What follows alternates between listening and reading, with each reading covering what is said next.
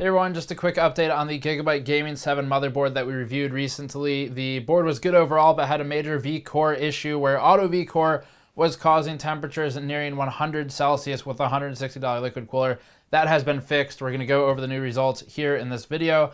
Before getting to that, this coverage is brought to you by Corsair and their new 570X Crystal Series case, which has tempered glass on all sides, RGB LEDs in the front fans, and we've reviewed that case. If you're curious, you can hit the link in the description below for more information. So to recap everything with this board, first of all, Buildzoid, after my initial review, we had him post another video that talked about the PCB. So as a motherboard analysis, talking about the VRM components, overall higher quality than some of the competitors like MSI's boards where they use the cheapest FETs in China.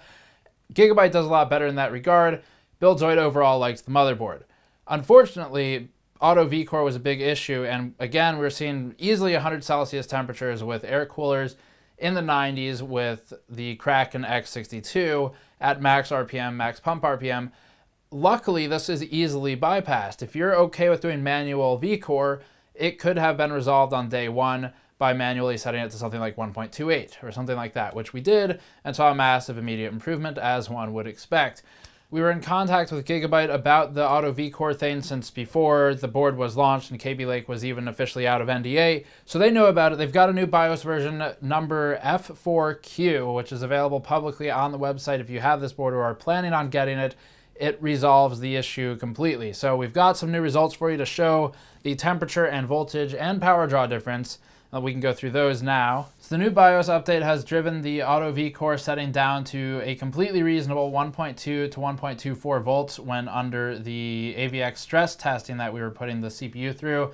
Maximally we saw 1.28, but that was once.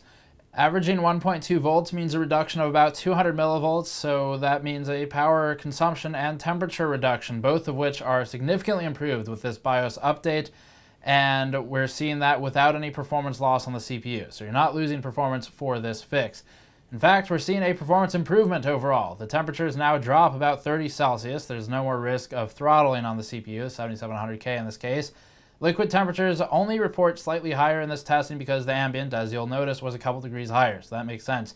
CPU package is what XTU reports for the 7700K, so we can use that for our main unit of measurement and that's at 64 Celsius versus the previous 94 Celsius load temperature under identical conditions, identical coolers, all that stuff. Again, these numbers correspond to a frequency that outputs identical performance between each V-core setting, but with a much more efficient voltage on the updated test run. As for package power, we're down to 105 to 106 watts average where we were previously at 133 to 135 watts, and that's just because more volts means more power consumption. So overall, major improvement. The board is now well within acceptable purchasing territory for anyone who was not planning to play with the V-Core setting. If you want to use auto, it's good now. I'm not sure if they'll be shipping with that update for future boards. There's a very strong likelihood that they will be because that's normally what these companies do. But regardless, if you buy the board and it doesn't have the update or you've already bought it, then grab the update, apply it through their Easy Flash utility. It takes less than two minutes and you'll be good to go. The board is now a pretty good buy in all aspects from our review because that only glaring issue is has now been resolved. So same price, all that stuff. I'd still like to see a slight price reduction, but V-Core looks good now. Just a note on how Gigabyte acted during all of this. The way Gigabyte responded and then addressed the issue and then worked with us to further test the issue was perfect. That is how a company should work with media on trying to troubleshoot, uh, fix, and release updates and news for an issue with a product. They didn't try to hide the issue, bury it, and they didn't try to discredit our work. So thank you all for watching. You can go to patreon.com slash gamersnexus if you'd like to help us directly course, gamersnexus.net for more information. We have some further information coming up and testing on one of the competitors to this board pretty soon. And many of you have already seen part one of that. So thank you for watching. I'll see you all next time.